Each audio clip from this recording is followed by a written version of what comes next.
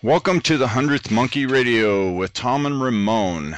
Oh, wow. We have had just some amazing things going on in the last couple of weeks. I just uh, got back from ECETI a couple days ago, seeing George Kavassilas, and uh, I got to tell you guys, oh, what you see on the internet, what you see on YouTube, and all that stuff just does not give the guy justice.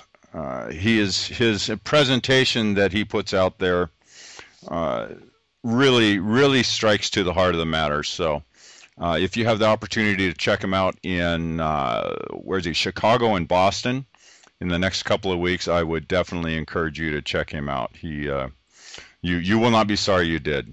Uh, he, genuine, genuine good soul. So.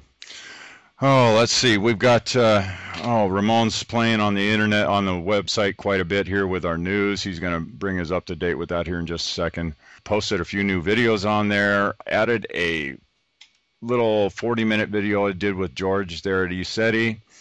And uh, like I said, I'm just catching up from being gone for a week, so uh, we will uh, be posting things up there and and bringing everybody back up to speed, or getting myself back up to speed, anyways. Uh, let's see, we do work on a donation basis, so uh, if you have a few bucks to drop our way, we definitely appreciate it. Don't forget, we do also have the uh, offer the uh, tarot and the healing and the astrology services, Astrology by Claudia. And oh, by the way, Claudia, I just wanted to mention, I'm sure you are listening. I wanted to mention that George wanted me to give you a big hello. So, hi, Claudia, from George.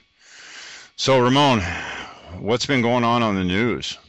Uh, well, one of the uh, things that I found very, very interesting is there's um, it's the first time I've heard of it. It's a machine that turns um, water into air, and the links on there. I'm sorry, air into water. it basically takes in the humidity, um, and and and takes out the water from the air, and some of them are 55 gallons to 100 gallons. So you have like a, a portable well that you can carry around.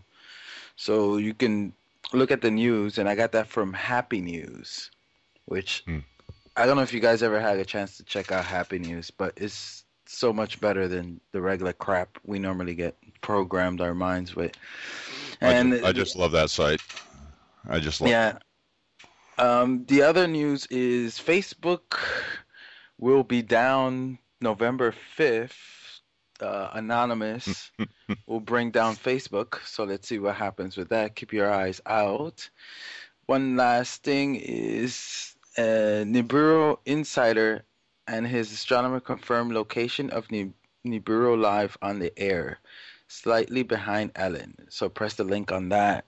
Uh, what I've heard about that, and we'll discuss that with our guests, is that some people believe that Elenin is blue Kachina and whatever is behind Elenin is red Kachina. So we'll ask our guest. But who is our guest? Well, our guest is a very well known person whose family originates from Spain and then moved to Cuba, moved off to Puerto Rico, and he ended up in the States afterwards. Who is the person I'm talking about? He's been doing his show for three years since 2008. Um, I forgot who his first guest is. This is all off the top of my head. I'm saying this. Let's bring in Mr. Mel Fabregas. Yay! Hello, guys. Great to be Hello, with Ramon. How are we doing tonight, Mel? I love the laughter, guys. No, th- um, this is a really serious show. No laughing. That's right. yeah. Yeah, we we are professionals, so. Yes, we're real professionals. So. Humor is a, a totally imperative, especially these days. Absolutely, absolutely. So, Mel, uh, first of all, I want you. Uh, uh, that bio was a little uh, interesting. Uh, um, most people don't really know much about Mel Fabregas. They know you do that show, and I'm, if they've listened to all your shows, I'm sure that they've gotten a little bit more background than than what most people. But uh, give me a little bit more. What did you do before uh, you started the uh, Veritas show? That, that's the big question. Everybody asks me, you know, what did you do before Veritas? And before that, uh, I used to be in the corporate world. I, I used to work for a Fortune 100 company. I was I started as a financial analyst, and I was traveling around the world. Spent 13 years, 13 moves. I was in Asia, California, Mexico, you name it, and I uh, I always had a fascination for the paranormal. And I'm just going to give you a, a little bit of the background not to bore people, but in one of my stops uh, during the early 90s, I was sent to Mexico during the implementation of NAFTA, the North American Free Trade Agreement, which is frowned upon by many, even by me now, uh, although I was there to promote it. But anyway, during that time, I uh, arrived in Mexico, but just before that, I was in my, living in Miami, Florida, and we had uh, Hurricane Andrew. And at the time, at 11:30 p.m., my alarm uh, the, the house alarm would go off at 11:30 p.m. all the time. And uh, one night I decided to remove that alarm, to remove the cables, just because I couldn't handle it. That every time I would look and it it was something vibrating in my my uh, uh bedroom window. So the day I removed that, at 11:30 p.m., I heard a bing as if somebody took a piece of metal and banged it to the in the uh, stairway railing so I went running and I touched it and it was vibrating. So I thought I was going nuts. You know, what's going on here? 11:30. Say so. Uh, Hurricane Andrew hit, and I was uh, transferred to Mexico City, and I was living in a hotel for a while. Nothing happened, but then I was moved to to a corporate apartment. At 11:30 p.m. the first night, I wake up cold and I see the curtains flapping and the windows open. And I say, you know, maybe maybe it was me who left the windows open. So I closed them. The next day, I made sure that the bars were closed. It was a metal window. At 11:30 p.m., the windows open again. The next day, I go to the office and I was hiring personnel, and I uh, bump into this lady. She she actually looked like a witch. No offense to, to witches out there, but she looked like a witch. And uh, she came to the office and applied for a job, and we got along. And then I don't know why I hired her on the spot. Usually I take my time to to hire people. But that one lady, I just hired her on the spot. I, I just got a good vibe. And she said to me, Sir, you look a little bit distraught. Is everything okay? And I was just thinking of the 1130 issues from the night before. And, you know, just met the lady. Why is she asking me personal questions? So anyway, I said, yeah, this is what's happening. And she said, can I borrow your pocket pen? And I'll bring it back in the morning. And uh, I've had some paranormal experiences in the past, but but this one was a big one. She took my pen. The next day, she comes back and started telling me things about me that nobody knew but me. And that was just incredible. Anyway, we developed a, a good friendship. And about, I would say, nine months later, um, she came to the office uh, crying.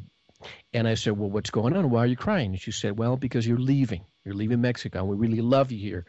And I said, well, why am I leaving? I'm having a great time. I love the, the country and I want to stay. Like, no, no, no. You're going to get a phone call. You're going to receive a phone call from somebody and you will leave. Anyway, not even a couple of days later, the Mexico peso devaluation happened. And my uh, boss in San Francisco called me and said, hey, we need to get you out of Mexico because things are going to get pretty bad. And I said, Yeah, I agree. So I go to the office. Nobody knew that my boss had called me. And the lady came to me and said, You received your phone call, didn't you? and I said, Oh my wow. God. You know, and through the time I knew, I knew her, she was always doing things like that, that, that would floor me. Anyway, she told me, Look, let me tell you some of the things that will happen to you in the next year and the next you know, decades. And she said, You're going to lose a next of kin you will move eventually a lot of places, but you're going to end up living in a place that's very hot. It's beautiful, a lot of nature around it. Some, you know, she described a desert. You're going to marry somebody that looks like this and like that. And essentially, she described my wife. She described the place where I live. And my father died a few months later. So she was right in, in that I was going to lose a next of kin. But she said the most important of all and the last thing would be that you will be informing the world. That will be your duty. And I said, wait, wait, wait a minute. I, I get the losing the next uh, next of kin. Everybody has to die. Uh, you know that you're going to get married. That you're going to live in a hot place. There are many hot places around the world. But informing the world, explain. And she said, in due time, it will be revealed to you. So anyway, I left uh, Mexico. I, I arrived in California, and the next Monday I called the office just to say hello to Amalia. That was her name, and they said, "Well, ever since you left, she never came back." It was actually a week or two later. I called her at home, and her phone number was disconnected. And now, many years later, I just think that something, somebody was placed there to, to tell me. But it, one of the things she gave me was a little red pouch. And she said to me, a little, you know, take this little red pouch, always keep it with you, you know, maybe in your wallet. It has some little stones inside. And she said, don't ever open it because when you do, things are going to start getting bad. Anyway, a couple of years later, I was being promoted. I was going around the world. You know, I was really enjoying my job. And one day I'm in, in New York, actually, from all places, Ramon, and I'm uh, putting gas in a snowstorm. And all of a sudden, I'd get to my hotel and I realized that I had lost my wallet. I dropped it in the snow. And that in the morning, I get a, and I said to myself, "Oh my God, please, whoever got the, the wallet, don't open that little bag, that little pouch." So I get a phone call from the police, and they said, "Sir, we found your wallet. Come and pick it up at the station." So I did. I went there, no money, that's okay. But the first thing I did was to look at that pouch, and the pouch was open. Uh-oh. And I said, "Oh no!" The first thing I did was drop it in the first trash can I found. I didn't want to deal with it. So even though I had a great position, very lucrative, I was making the company millions of dollars. I go back to California. The first thing was my boss said, "We need to talk." And I get there, and he said, "Your position has been eliminated." And I said, "Oh no!" the pouch. Hmm, So hmm. after that, things started getting really bad. Uh, they moved me to Arizona, and uh, one thing led to another. I just couldn't stand the fact that they wanted to move me again, and I said no. And and I I finally uh, quit the company, body business, got married, all in one year. And now I realize that maybe that pouch was open for a reason because it really made me be who I am now. So that's that's most recently. When I was a child, I the first thing happened to me. I almost drowned, and um, after that, I was run run over by a car when I was 14. I should have died then and there. Two months later, I was run over by another car. Oh, wow. Uh, This then I is moved, in Puerto Rico. this is in Puerto Rico. Uh, as a child, about seven years old. Let me tell you another Where, story. where in Puerto Rico did you grow up? If you don't mind? San Juan. San Juan. Okay. Yeah, but I just I just jumping around because I'm trying to give you the best stories. And this story I always tell people because it was my very feels uh, first paranormal story. One day, uh, I was having a dream about this little girl in the school. I had a crush on this little girl. I was about seven years old. So I had the dream. The dream basically said, "You need to go from your house to her house, and the, these are the directions." And I woke up in the morning and I said, "What was that?" So I go to school, return in the afternoon, and I told my mom, "Hey, I'm going out to play." So instead of playing, I just walked and walked and walked for a, a couple of miles, and I went directly to a house, the house that the dream told me to go to. So I knocked on the door, and a lady opens the door and says, "Son, uh, are you lost?" And I said, "No, I'm here to see Mary. That's not her name, but I'm here to see Mary." And she said, "Sure, let me get her for you." And I said, "Oh my God, I'm really in her house." And then here she comes and says, "You know, Mel, what are you doing here?" And I said, "I I just came to say hello." So I was so embarrassed that I just said, "Okay, goodbye now," and I left walking really fast with my head down, thinking, "Who can I talk to? Who can I say I had a dream the night before that told me to get there?" And uh, that was my very first experience. Another one, a, a couple of years before, actually, I was walking with uh, a great aunt, and uh, on my street, and I see a, a really pretty house. I have a video on the internet that shows exactly that moment. And I I I pointed to the house and I said, That house looks just like your house in Cuba. And she looked at it and started crying. And I said, Why are you crying? She said, Because that house looks just like my house in Cuba. So as a child, I was thinking something's different with me. But every time I would go to school, I was ridiculed. In 1979, I was about uh, 11. Uh, Hold on one second, Mel. Yeah, Uh, he's he's he breaking up for you too. Yeah, how's this now? much better. Okay, Go ahead, sometimes that happens. All right. Um, I was in seventh grade, and I had a. I'm just telling you all these stories to put things in perspective. But uh, I had a biology teacher who said, "Hey, close your books. Today we're not going to be talking about uh, biology. You are going to tell us anything, your story, or you're going to ask me a question, any question you want. And of course, I've always had these overly developed sense of wonder. And my question was, how could I communicate with extraterrestrials? Hmm. And everybody looked at me. Oh my God, this guy's crazy. And she, she looked at me and said, hmm, That's a great question. So all the kids were like, Oh, she's taking him seriously.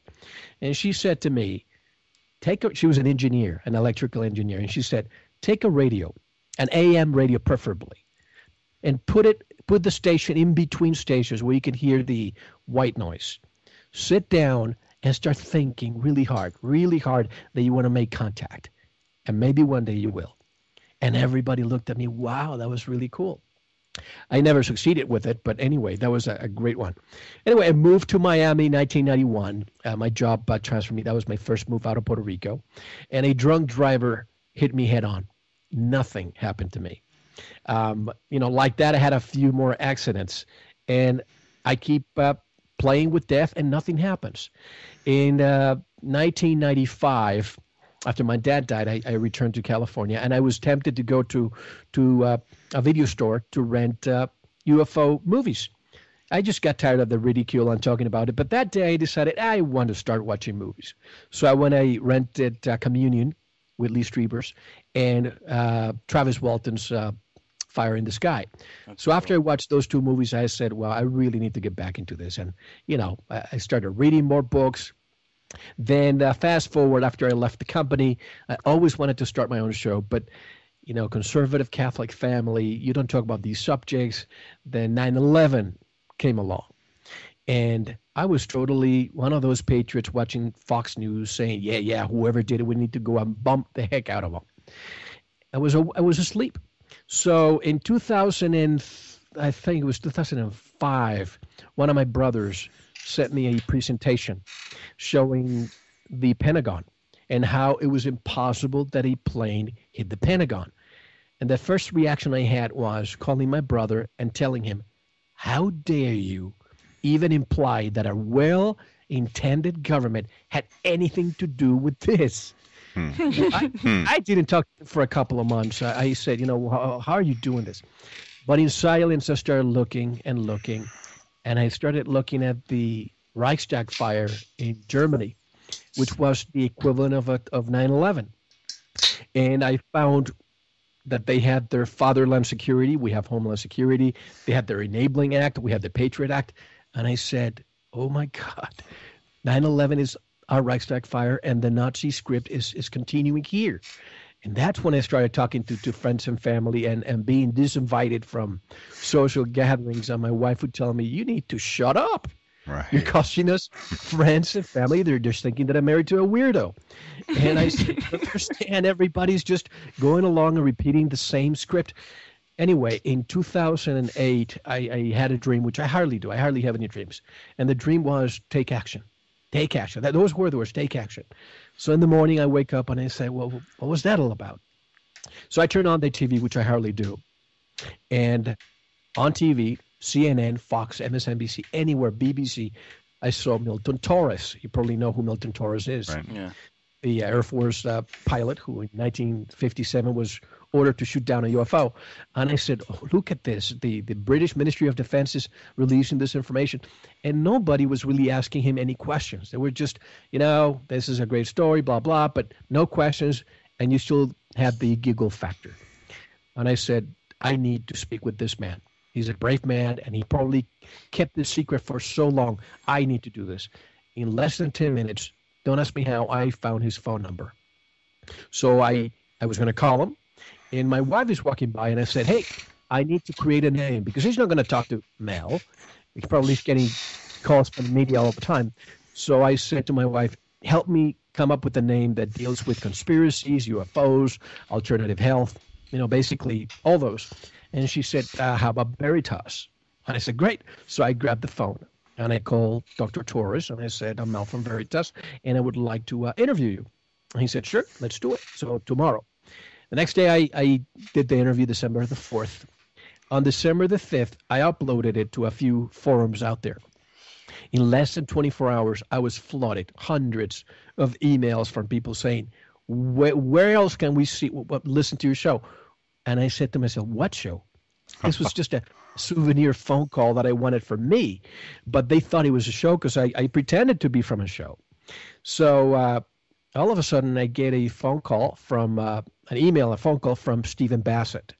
Uh, he says, "Hey, I'd love the interview. I would love to to have uh, Milton Torres at the X conference in in Washington, and uh, can you please put me in touch with him?" And I said, "Of course. Can you please uh, allow me to interview you too?" And that was the first real interview. And after I, I did that one, I had to create a website rather quickly. And I was going to do the show every two weeks, but so many people said, please, please do it once a week. And, and I have businesses. I, am a business owner, and you know I don't have the the the capacity of doing this every day. Otherwise, I would. I would drop everything and do it for free. But um, that's how Veritas started. So I just gave you a, uh, some background of the things I've gone through. And how many shows do you have under your belt now? Uh, they're getting close to 150. Wow. I haven't stopped one single week ever since I started. Nice. Nice. Yep. Where, where, where are we up to, Tom? 40? I think you you will be our 40th episode. Yeah, you'll be our 40th episode. Yeah. And you guys are having a great reputation, by the way. And, and, and we have some synchronicities here because you've had somebody very dear to my heart in, in your show, and you know her, uh, Crystal Clark. Oh, yeah. Yeah. I speak. Let, let's start there. Um, I've been. I'm three quarters of the way on on uh, 102. Who are we really? 102 when tomorrow comes. Uh-huh. That book has blown my mind. What What's your feeling on on that?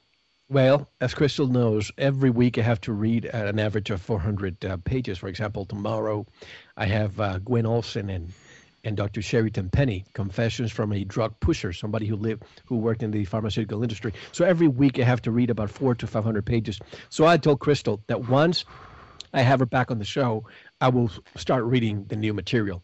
Uh, I don't know if you know the story, but I receive books almost on a daily basis. And this is back in uh, 09, uh, late 09. I had a stack in my office, you know, probably about three feet tall of books. And then I was looking at the uh, at the book. You know, I wonder which one should I grab now. And the one that stuck out the most was this big book called "Who Are We Really 101." And I grabbed it and I said, "That's a great title, very catchy." And I started reading it, thinking that I was going to give it 10 minutes just to, to browse it. I couldn't put it down.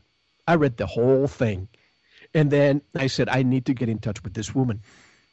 So I we corresponded and she told me the story of how I don't know if I can tell this publicly, but basically, one of the signals w- was that once she received a contact from somebody who read the book and wanted to have her on the show, there was a signal for her to start promoting it. So one thing led to another, and we did four hours. We divided them in two shows. Before her, the only, can I say, spiritual topic related person that I had on the show was Robert Morning Sky. But mainly I was doing shows on UFOs only. She was the one who, can we say, snapped me out of it. Nice. And and really exposed me to spirituality. You know, remember I grew up a Catholic, so after that I, I frown upon religion, unfortunately, because nobody could answer my questions, and they would send me to the principal's office if I had a question that they couldn't answer. So to me, I didn't want to deal with spirituality because I thought that would turn some people off. But after I had her on, I said, wait a minute, there's some uncharted territory here that I need to explore. And if you look at my guests, after I had Crystal on, I basically touch every every subject under the sun, you know, spirituality and anything that has to do with discovery, being being sovereign. And ever since we did the show, we've become friends, and I look forward to having her again uh, late this year. And then I heard that she was with you, and you guys did a, ter- a terrific show with her too. Yeah, we yeah, did uh, what five shows with her. Yeah, uh-huh. yeah, we did her. We uh, had her on every month, and uh, it was awesome. Uh, just amazing yes. woman, amazing woman. Yeah, Actually, if it wasn't for you, we we would have never had her on because well, Tom Tom heard one of your shows and was like, "Oh, we need to get her." Let me confess, You know, it's interesting, and this may be happening to you too now that you have so many shows under your belt. Does it, have, it happen to you that you interview somebody, and uh, maybe even somebody that people have haven't heard from? Uh, you know, Crystal. It was the first time she's ever been on radio with me. You know, I had so many people thanking me. That was a great show, and this happens not only with her but with many other shows. You know, he just breaks records and, and, and downloads. But then you have another side who says, "Come on, Mel, what were you thinking?" You know, you have both sides of the spectrum. And what I tell people is, look, information is information. Information is like a like a restaurant buffet. You go out there, you sample what you want, and what you don't want, you leave it. But I don't want to be out here not having a guest that I think has great information just because one or two people out there may find that guest questionable. Just because you can't prove something, it doesn't mean that it may not be real. Exactly, exactly. Yeah, yeah we, we definitely uh, don't uh, put any kind of borders on where we'll go. So. Yeah. Okay, well, let's real quick. Uh, let's jump back in. I want to jump back into uh, a little bit of your past before uh, before the show, into your Bechtel years. Sure. And uh, this is actually comes from Rogue Two, which I know you know who that is. Sure. Uh, he, he asks, uh, oftentimes in your interviews, you reference your previous corporate life and how one of your clients was Bechtel, largest construction company in the world. You have stated multiple times that this company was involved in building underground bases. Have you ever approached anyone within the organization that would or could speak on these projects? Uh, Rogue Two, he always has the greatest questions. he does. He does. He's awesome. Let me just let me just tell you, uh, the company I used to work for, uh, you probably heard of Standard and Poor's and Moody's, and and they're rating uh, the United States government downgrade to double A. Well, the company I used to work for was the parent company of Moody's, so I did my own uh, ratings myself, rating you know big companies around the world. At one point, I had a job, and that was when I was flying all over the place. This is when after I left Mexico and, and I met that witch lady, and I had the best job in the world. I was I used to leave the office on a sun I mean my home on Sunday and would return home on a Friday. It was great that I was single back then because if you're married and you're traveling that much, there's no way you can make it work. But anyway, I some of my, my clients were in the Midwest and, and, and, and I had the West Coast and the Midwest. And uh, in the West Coast I had Bechtel, but I also had in the Midwest many large clients. One of them was Monsanto. And I can talk about Monsanto after I talk about Bechtel. Anyways, I had Bechtel. I had other, you know, I, I had uh, uh, uh, defense contractors, uh, McDonnell Douglas. I had uh, uh, Lockheed. Every time you go there, they would make you wear special security badges for you to be able to go to certain of their departments. And can I talk to any of those individuals about the underground bases? Absolutely not. They would probably deny it just because they were all uh, on a military need to know basis. And I just heard from the grapevine about those things, and I've heard from other people who were involved in those projects that these were really true. And when we hear about Donald Rumsfeld saying that they lost 2.3 trillion dollars on September the 10th, uh, that to me is a huge crime against the citizens of the United States.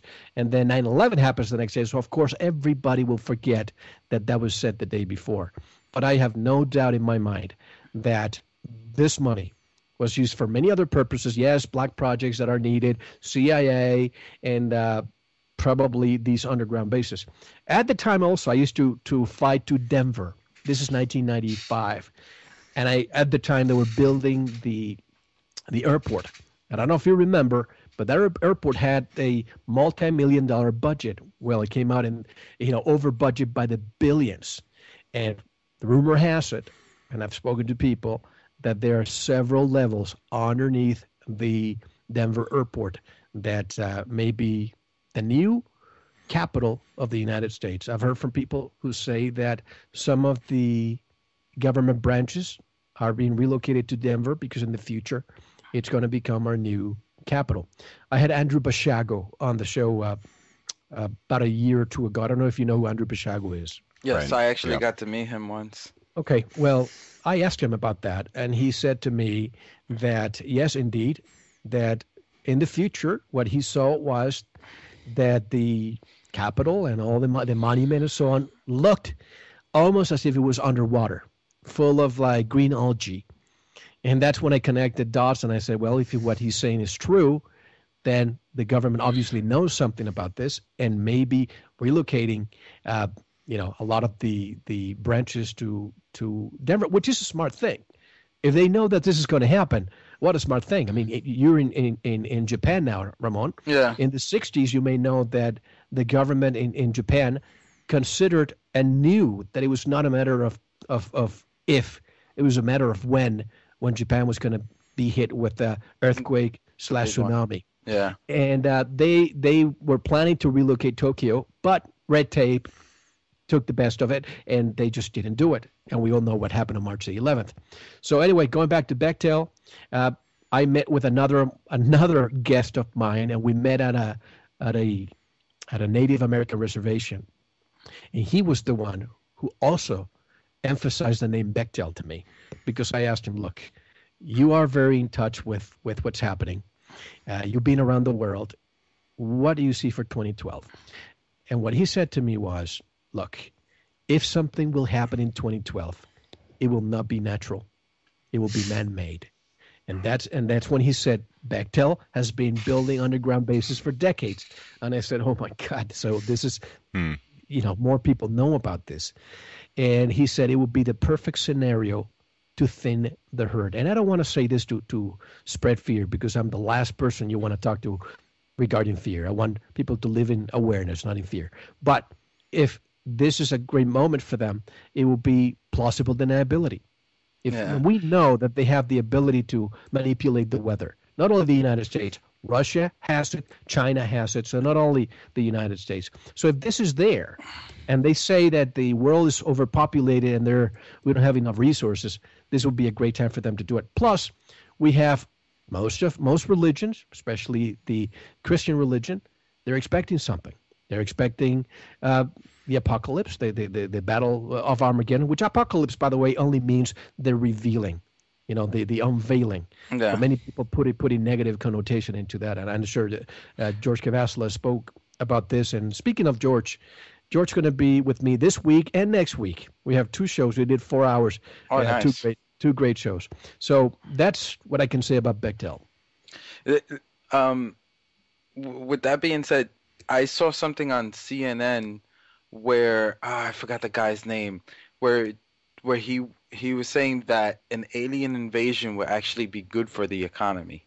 Yes. Hmm. I mean, they're really putting that in your face. Like they're, you know, they're, they're not even hiding it anymore.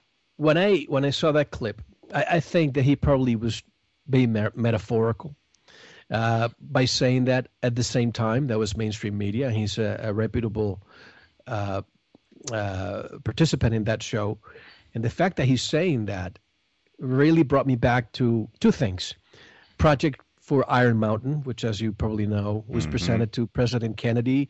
First, Mr. President, we need to uh, always have a black cloud over our heads, a, a, a crisis to keep the economy going and to keep the United States strong, the economy strong. Uh, we have communism now, but after communism is over, we need to think of the next phase, which is terrorism. And then when people don't buy terrorism anymore, and I really just cannot believe how many people still buy it. Now we have the, the latest, and I don't mean to undermine the loss of life in Norway. And my heart goes out to all those people and their families there. But when we look at the at the at the fingerprints, if you will, of, of that, I call it a false flag event. The same thing happens uh, with um, with what happened here in 1995 with um, Oklahoma City bombing. It almost looks as the same, but in this case, it was a bombing plus the alleged killer went to a little island and killed 69 young uh, uh, teenagers there. So when we have the TV people saying this, that we need an alien invasion, you have to think of Carol Rosin also, who said that von Braun told them the same thing. Communism terrorism, a celestial object, or a, nat- a natural disaster. And I think this is exactly where we are right now. Yeah. And the next one, the final card, and she kept repeating the final card mm. will be an alien invasion, a false flag alien invasion to finally unite the world so that all the militaries of the world can unite. We create a one world government and we defend our planet against those evil aliens. Don't buy it. Yeah. Yeah. There's actually a pretty good video out on uh, YouTube called "The Quickening," which Oh, yeah. uh, addresses that quite well. Which Uh, we have on our video link. Yeah, yeah, definitely. We started uh, it- watching it yesterday. Yes. yeah, Uh, it- it- it's amazing. a well done, well done piece of work. Let's see. Well, let me finish up with uh, with uh, Rogue 2's uh, question here. He's only got one more here for you, and then we'll move on to some other things. Uh, Of the various of the various subjects that you've researched and discussed with your guests and listeners, which of them are most interesting or pressing for you at this current time? It's a very good question. I get the question all the time, you know, who's your favorite guest? What's your favorite topic? And I just don't see it that way. To me, what you, Tom and Ramon and- and Mel do, in my opinion, is finding pieces of the puzzle. I used to think that I knew a lot before I started the show. And after three years, I realized how little I knew. And every time I do a show and I have 10 questions, after I end the show, I have 100 questions. So it's the opposite happening all the time. You think that you're learning, and yes, you are, but then you realize how little you know about a certain topic, which opens, you open one door, and once you open that door, you realize after you finish a show that there are 10 doors behind it, and then 20, and there's a multiplying effect. So to me, all we do is we have a, a million pieces of a jigsaw puzzle right on the floor. And I see this white wall in front of me. And every time we do an interview, we put a little piece on that wall. And slowly we start looking at the picture and it start making sense. And we start looking at something and we can discern, wait a minute, this is leading me from A to B. And my goal in life is to, when I'm ready to no longer be in this plane and meet with other people somewhere else, would be that day I want to say, I did my best and I tried to complete the puzzle, and I think I got, I have a good idea. That that's my goal. I cannot tell you one topic is more important than others. It depends on the day. Uh, I mean, last week I did a show on on the economy and silver because, you know, we knew that after the downgrade.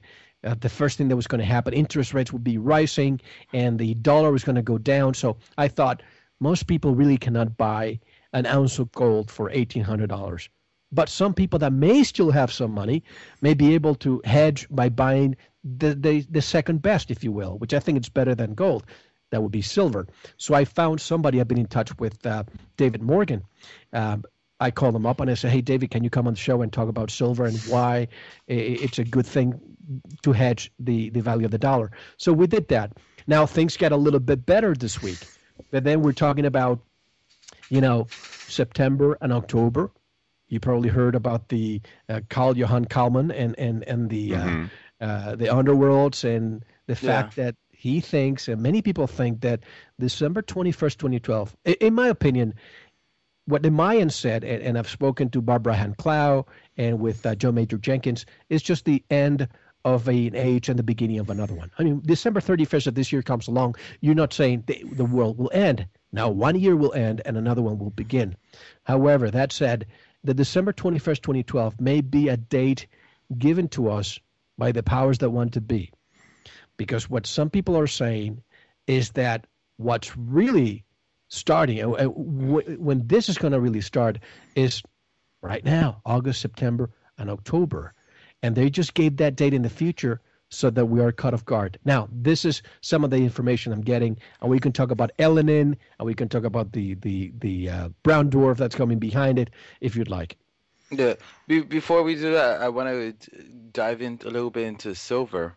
Sure. Um, right now, it's I think forty point fifteen is the price I'm getting here. which is great because last week it was about 36 when I spoke to uh, David Morgan, and uh, gold was oscillating between 1750 and now it's close to 1800, uh, which which seems like a lot, you know, fifty dollars per ounce, but it's eighteen hundred dollars per ounce. Here we have four dollars on a thirty-six dollar ounce which is a lot. Yeah. Yeah. That that is a lot. And the thing is you can take a hundred dollars and buy a few ounces. Exactly. Know. Um uh, the other thing I was gonna ask you about, have you ever heard of um Bitcoin? Yes, I have. I'm not too versed on that, but I did discuss this with Mark Stevens, a great guy that I had on the show a few weeks ago. And, and, and I've heard about it, but he explained more or less how this works. I'm still trying to understand the concept of how you see I'm very I'm a very black and white person, very kinesthetic. I need to see a system work before I can actually get it. And I want to understand how is it that computers create this uh, way, this currency uh, which I'm a little the, still a little doubt. So enlighten me, enlighten me if you know. The way it was explained to me is um, the your com- your computer comes up with a number sequence, and the number sequence is um, not prime numbers. Some uh, I can't remember what it was. It's it's a certain um, equation that it uses and it only every time you get one equation from that then you can get the next one and that's how the computer makes a bitcoin well to make past um, 20 million bitcoins it takes a very large equation and it takes so much computer power so that's how so each one has that equation onto it so you can't fake it because in order to do that you have to make the next equation. So you need a smarter computer. And that's and that's how they're made. That's how you mine them. So if you have started mining them like six months ago, then you would have made money. Because uh, let me see, what's the exchange rate now? Um, oh, I can't find it. But me and Tom were looking into it actually after hearing your show, and and some some people are starting to use it, but it's still on the up and down. The last time I saw it was seven dollars. Yeah, the first I, time I saw it was at fourteen. I looked at it for a bit, and uh, I just I still don't have quite have the concept in my head. So right, yeah, and yes, it's a little bit difficult to grasp, especially because it's computer related. But what happens if, for example, we get a a, a solar storm that takes care of our computer systems. Since the last two years, I've been looking into ways that could replace our current monetary system. And first person I spoke to was Catherine Austin Fitts, and she suggested could create cooperatives around your, your neighborhoods and, and start trading with your neighbors. And this is one thing that we don't do, which is interact with the people that would live around us. I, I always mention this you know, having grown up in the Caribbean, and, and I know you know, Ramon, oh, Caribbean, yeah. we get hit by, by hurricanes all the time. But I remember very clearly as a child how, you know, we don't have that much interaction with neighbors, but when a hurricane would hit, we would lose power, sometimes a week, two weeks, no water.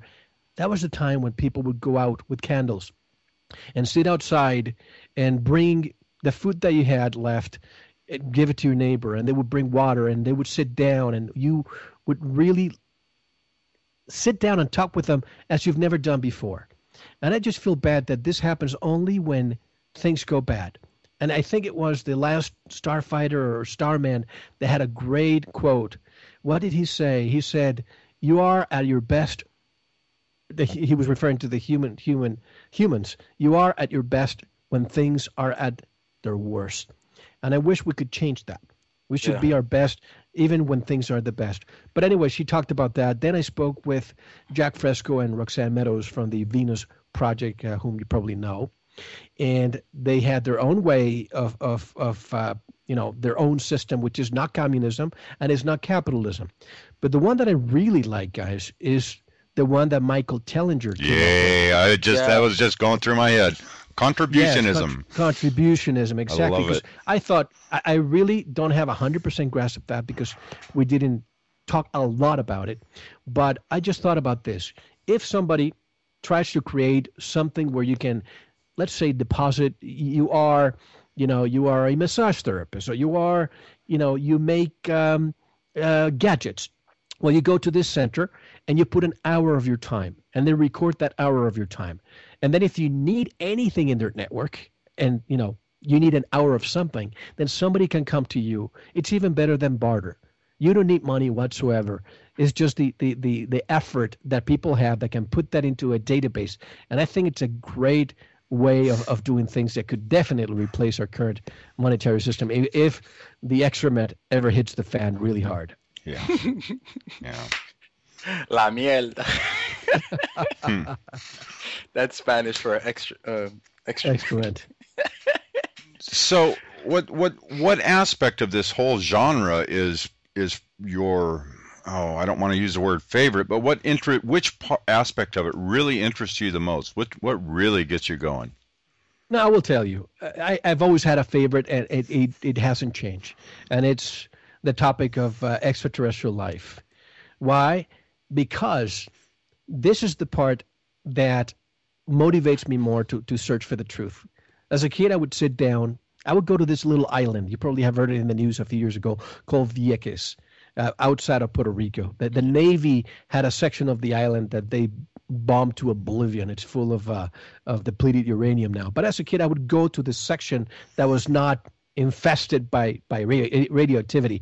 And at night camping, I would look up at the stars and I would think, look at those stars. I mean, probably billions of them. I wonder if there's like a, a kid out there in the way of a flipper ball looking down and thinking the same thing I'm thinking. But I was thinking, why is it that when I go to school, they tell me that we are, God made us here on this planet alone? To me, that's the height of arrogance. So I, my passion is to look for, we know that flying saucers are real. My goal now is to talk to the contactees, to the experiencers, to those who have really had contact. Because my goal is to one day, and to, to some people, they may call me crazy, I don't care, to sit down with somebody, to a fellow brother or sister from another planet or, or, or galaxy or dimension, and ask one question. My question would be please tell me what errors you made in your civilization so that we can learn from you. That is my ultimate goal. So yeah, I'm not embarrassed to say that that is my my absolute favorite topic. But other people say to me, Mel, you discuss alternative health, you discuss cures, alternative cures, and uh, the economy, and uh, uh, the pyramids. What does that have to do with UFOs? And the thing is, everything is absolutely interconnected. And I say, I mention this all the time. One of my guests who traveled around the world. He went to every monument and he started deciphering what he saw written in stone and started talking about the technology, anti gravity. All that is out there for us to use. The ancient ones left that there. I mean, there's another cataclysm right now. In what, uh, uh, a, a hundred, a thousand years, everything that man made would be completely forgotten. It would be in oblivion. Well, you know, except for maybe radiation or some plastic and things along those lines. But you you would have that. One night, he got a, a knock on the door, and he had some people who took him, put a hood over his face, almost like extraordinary rendition. They took him in a van to an undisclosed facility, and he was on like a warehouse. They put him there in a chair. He had to wait. All of a sudden, somebody comes and takes his hood off his head and that person was George Bush Sr., George Herbert Walker Bush. And he said to him, and by the way, Bush is part of what's known as the Ahnenerbe. Google that. Ahnenerbe, which is the Nazi think tank. They went to Tibet. If you see a lot of pictures on the internet, you see all those expeditions that Hitler uh, sent those people out there and that you know dealing with the occult and technology. Some people say the the Nazi bell and the the Nazi flying saucer all came from that. Well, anyway, this guy knew about all this, and Bush told him, "Look, how do you know all this? Nobody knows. How do you know?" So he told him, "I went around the world and I started looking and and connecting dots everywhere. That's how I found out." And he was told, "You need to stop talking, or else." You can talk about the rest, but don't talk about the technology. I think that is the biggest no no for anybody to talk about. Even when you watch TV, you watch Battlestar Galactica or V or any science fiction shows. I laugh when I see the the uh, the ships. Even right now, I mean, if you if you did this during Jules Verne time and and rockets were not even imagined, But right now, we know that we have anti gravity. But on TV, they always put the rocket propulsion, chemical rockets, yeah. almost as if they're telling us, you know, guys who are making these shows, don't give anybody the idea that anti gravity exists. Just keep putting those rocket and put those sounds in space, although that's impossible, but people are just not going to believe it. But anyway, just to answer your question, long winded, but uh, yeah, UFOs are and extraterrestrial life is my, my passion. So, so your ultimate goal would be to interview and because that's for me, and I think for Tom it's the same. That would be an ultimate goal: is to interview somebody from another planet, dimension, or. Absolutely. Yeah. Absolutely. Well, my, what's her job? My ultimate goal, Ramon, is still that hundredth monkey, that conscious wave that happens. But, uh, but uh, having a, a brother from another world sit down and have a chat with us, that would be right up there. Yes and this has happened in the past. Yeah. I mean, first of all, let me say that I don't use the word believe. You know, people ask me, Mel, did you believe that guest you had on the show and, and or that other one? And I tell them no, because I don't use the word believe. I don't want to believe, I want to know. You know, things are or are not. The word believe comes from a religious connotation of taking things for granted without any proof at all. And it was Buddha who said, Don't believe something because you read it in a book or because I told you, or because you heard it somewhere, or because it was handed down generation after generation. Go out there, do your own research. If it resonates with you and it feels like the truth, then you know. That's your wisdom. You know, I have um, a, f- a funny story about that. There was a, a guy I, w- I was talking to, and he brought something up, and I don't know how we got on the topic of uh, chemtrails and and HAARP and he goes, "Oh, that's that's BS." And I said, "China came out and said that it exists," and and then he says, "Yeah, we've had the technology for 50 years." He says to me, "But what you're saying is is BS," and I and it just it didn't click. And I said, "Well." He says, I believe in hard science. And I said, Well, I believe in doing your own research. And he goes, he, just kept going on that he believed in hard science and didn't believe in doing your own research. And i was just like wait that's not science. Exactly. I mean they, they want they want a, a, a, a when you do an experiment they want you to do it in a controlled environment and do it multiple times before you can you know, say if it works or, or it doesn't. And unfortunately, and I don't mean to frown upon those PhDs out there because I know there's plenty who listen to you and to me, but there's a level of arrogance in academia. Academia, folks, is ruled by the powers that want to be. When they see somebody who's super smart from from school, they immediately just give him all the perks. Come in, we'll bring you to their PhD program, and they want to make sure that you are within the train tracks. And I'm going to talk about one person you probably know, Dr. Paul Laviolette. He was one of those. And he was offered jobs uh, with black projects. And he decided not to because he said, I don't want to work in something that may be hurting humanity. And uh, there's people out there who talk about, you know, UFOs and, and come from academia. Those people are brave. The reason why I went to ECETI last year was because I interviewed Dr. Brooks Agnew earlier that year. Uh, that year when uh, the Haiti earthquake happened, and that's when he started telling me about his ECETI story, and I just couldn't believe it. Here's this man with a PhD, respected uh, person from the community. He has a company that that uh, is building electric cars. All of a sudden, goes to to ECETI and has a, a very paranormal experience that he cannot explain. Loses 20, 30 pounds in one week, does not use use glasses anymore, and now is telling us about it. And that's when I said I need to sample by, for myself. I'm going to make the trek up to East ECETI, and I'm going to see what they're telling me is true because I don't want to. I don't. I don't believe anything. If anybody tells me I saw a UFO, oh, that's nice. I'm open-minded. I will never ridicule anybody that tells me even the most rid- ridiculous story. I will listen to it and I will make my own discernment if I believe or I don't. Uh, you know what I mean?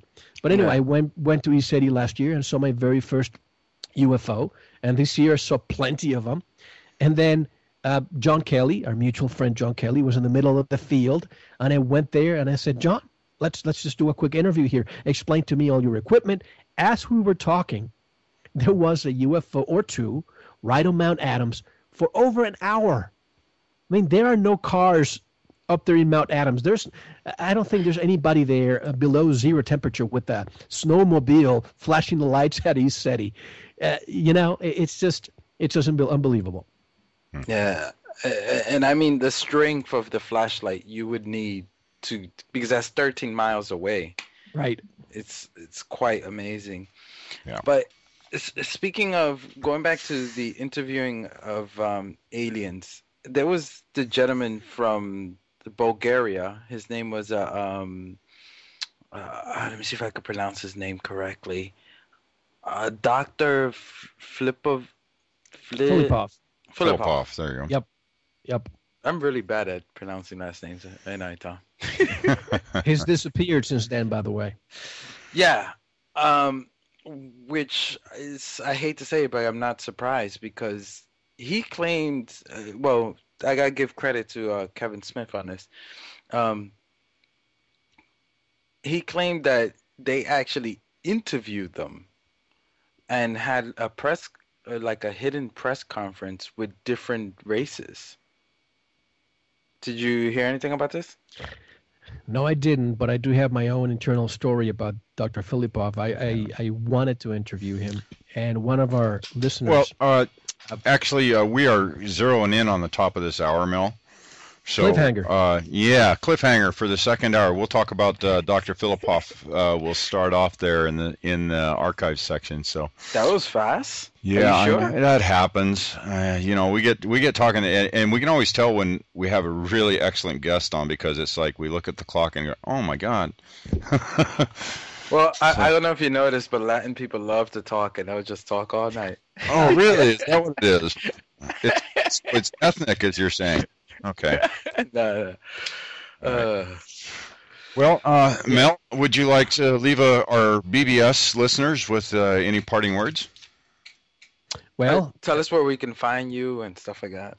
Very simple. Just go to veritasshow.com. That's V E R I T A S show.com. You can listen to every segment for free. And if you like what you listen, what you hear, you can subscribe and help us uh, we are alternative media, so support the alternative. Yeah, and and I have to say on the whole subscription thing that it's it's very important that you guys support because when I was on the other side, I was like, oh man, why are they getting greedy?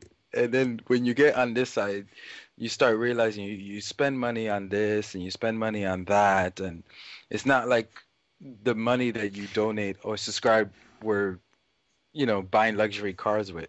Yeah, that's right. energy energy exchange. There should be some kind of energy exchange for for this, you know. So. Right. Yeah.